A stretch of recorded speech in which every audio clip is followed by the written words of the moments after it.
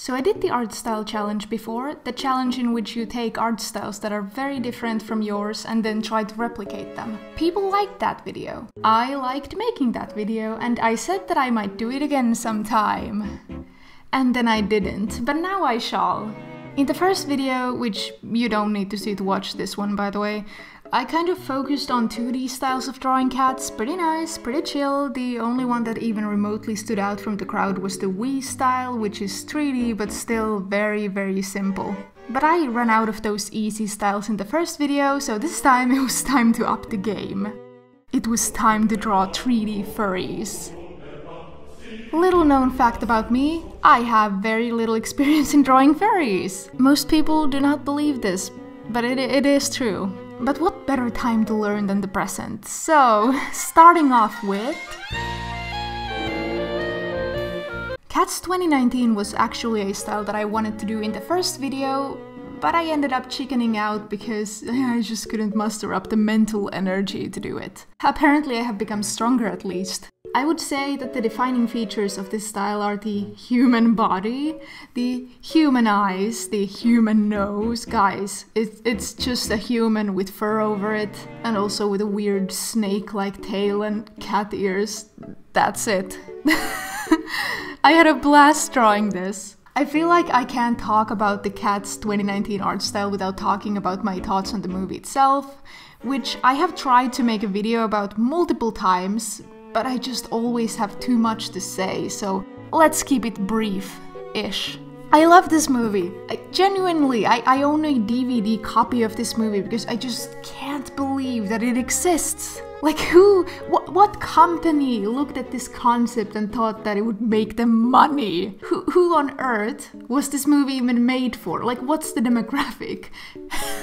me, I'm the demographic. This movie made me cry real tears just from the sheer horrified confusion when I first saw it in the theaters back when we could go see movies in the theaters. And that is more of a emotional response than most movies can bring out of me. So kudos to you, Cats 2019. I would not want to live in a world where this movie doesn't exist. Oh, oh yeah, the art style. I also made the style of the original musical for this video, but now that I think about it, it's not really an art style, and also the recording got corrupted, so yeah. But at least now you can look at that and try comparing it to how I did the 2019 version. I made the stage musical cat crawl on the floor while I had the 2019 cat standing up because I noticed that just in general the, the Cats 2019 cats act much more human-like than the stage musical cats do. I also made the lighting and shading different in these two because I feel like while the stage musical relies a lot on these blue and purple lights, the 2019 version is mostly yellow. So yeah, that's the Cats 2019 art style, and also the Cats the stage musical art style, which technically doesn't count as an art style, but here it is anyways. I'm very happy with both of these. Oh man. Next, I did the Minecraft style.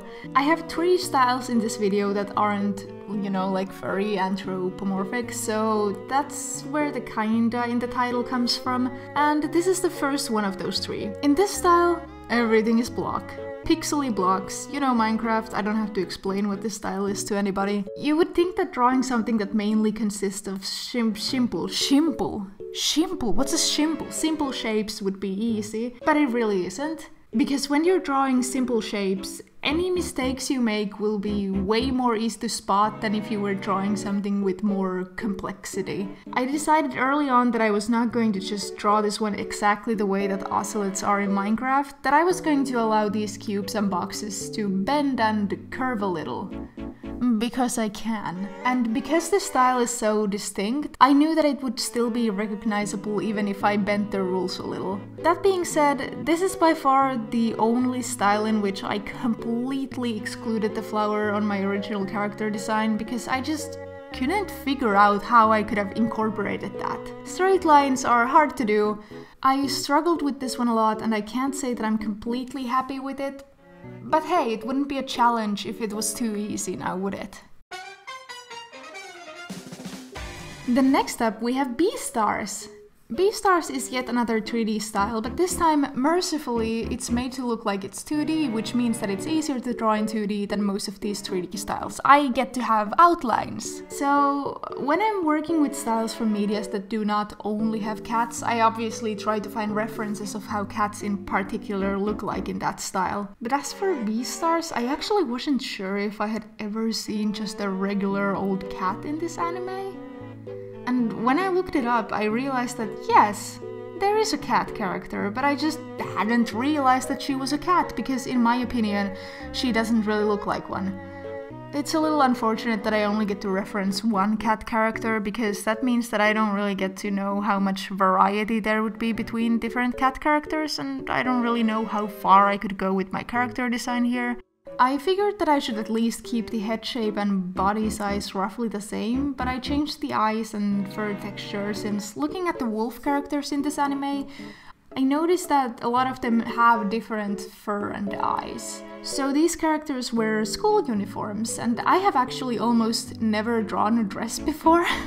Or rather, I have very recently been practicing drawing dresses as prompted by a certain vampire character but, but still I'm not really experienced in drawing clothing just in general. Fortunately, I had a lot of references at my disposal. The shading in this style is just simple cel shading, which is something that I am very used to from animation. So that part was really not difficult at all. I think I was able to draw my character in this style pretty well. I think she fits right in with the other possibly murderous furry anime animals. all I wanna be is someone who gets to see a giant world. So next I did the Steven Universe style, the other one of the two originally 2D styles and yet another non-furry style. So this one was probably the easiest style out of this whole bunch, which makes sense since it's a style used in frame-by-frame animation, it needs to be easy enough to keep consistent and to be fast to draw. Which unfortunately means that I had to reduce the details on my character. Again, this happened a lot with the styles of the previous video too. When going through my references, I noticed that Steven Universe actually seems to have two slightly different styles of drawing cats. The first one is from the earlier seasons and has thicker lines, maybe a bit more personality, in my opinion. Or, or, you know, it could just be because this is not actually a cat, it's a space alien pretending to be one. The cats that appear in the later seasons have thinner lines, more detail, and they all pretty much have the same head shape. I ended up going for a mix between these two, taking the thick lines and slightly reducing the detail from the cats we see in the later seasons.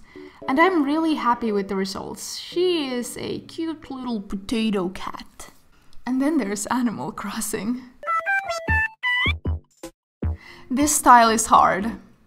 I, I never thought that this style would be difficult to replicate, but it is. It's the same thing as with the Minecraft style. When the shapes are this simple, if you make even a tiny mistake, everyone can see it, and especially you yourself. Okay, moving on. This style is very cute and very flexible with its detail. I didn't really at any point have to stop to think whether it would allow me to have my stripes or my flower because yes, there definitely is a villager out there that has those things. The only place where I had to switch things up was with the clothing, because the Animal Crossing villagers wear clothes! Now, I kind of wanted to give this character a piece of clothing that I own in real life that would match up nicely with the rest of the color palette. The problem is that in my apartment I have a grand total of six different shirts. One of them is pink, which would just merge into the color of the fur, and then the rest are variations of black and white. I kind of wanted to give her my grey sweater, but looking at my references I noticed that the striped cat villager here, sorry I'm not an Animal Crossing expert so I don't know their name, is wearing the same sweater that I have. And I don't want to be a copycat, now do I? so I ended up going for the black sweater instead. And there she is, I guess she's like cute but this was definitely again one of the more challenging styles to get right. Next up... Okay, hear me out. I like the designs in this movie. I don't know about the Secret Life of Pets movie itself. The only thing I really remember about it is that the Finnish dub had put one of the puns through Google Translate or something. I like I just they just directly translated it. And the joke didn't work and the line made no sense. And I don't remember how long it's been since this movie was made, but I am regularly angry about that translation. That is the only reason I remember this movie. But the character designs, though, I like them. They are very cartoony. We have a lot of exaggerated shapes here, coupled with so, so much fluff. I like those things. So I knew right away that this was going to be one of the styles I would do in this video. My biggest struggle was probably just getting the proportions to be exaggerated enough. I had to tweak those a lot to make them match with the style. I also wanted to give my character some sort of an expression since, you know, it's a cartoony style. I ended up making her look really disgusted for some reason. I don't know what she's looking at, possibly the Cats 2019 style. Or maybe she's glaring at someone for staring at her huge fluffy chest. Drawing fur fluff though? It's fun. I love doing that, it's therapeutic. Did you know that humans are evolutionarily predisposed to loving fluffy, furry things? But yeah, I don't know if I nailed this style, but at the very least, the drawing that came out of it looks really nice in my opinion. I, I really like this drawing. And here's the other 2D style out of this bunch. Honestly, if I'm ever doing this challenge again, I want to do more 2D styles and less 3D styles. This one is used in the game Night in the Woods. The furry characters again consist of simple shapes, which, fun fact, is because the main character of this story feels dissociated from the world and imagines people as animals because if they're animals then it's not as bad as reassure them the It's a very cute, a very simple style. Which again sort of means that it's hard to replicate, but I think I did it well enough. I had to reduce the details of the design again, but really the greatest challenge was just not making her look too much like the main character Mae, who is also a cat. You might notice that she's wearing the same sweater as in my Animal Crossing style, just heavily simplified. I think her shoes look like bread, and she's ugly. But yeah, I think I got this style down pretty well. I saved the best for last the characters in this movie have the same head shape, so there's no way this was ever going to look like a cat. Also, for some reason, the one female character in this movie has hair, and she's supposed to be a lion, so, like, Joshua has a transgender mom, possibly? Trans rights? Well, I mean, either way, that meant that I also gotta give my character poop colored hair to signify that she's female. Fortunately, I do have hair in real life, so I'm just gonna take my hair and try to imagine how it would look like if it was a poorly made 3D shape. Oh, and also, titties. okay, is it just me or are these titties like really, really high? Like, I, I don't think, I think you should move them a little lower because now they're like, they're kind of like a weird titty necklace that's under her skin. or fur, I, I guess. They, they don't actually have fur animated, but I mean, I, I, guess it's like implied or something.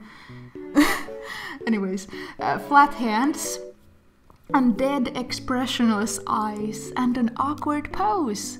And grey stripes, because why would you give your tiger character black stripes when you can just make them an annoying shade of grey? And of course, I am going to be shading with just black to really suck all of the color out of this drawing. And also do white highlights with an airbrush tool, because that's what we do here. And yet, no matter what I did, I just couldn't quite capture the energy of the original. Like, like this is...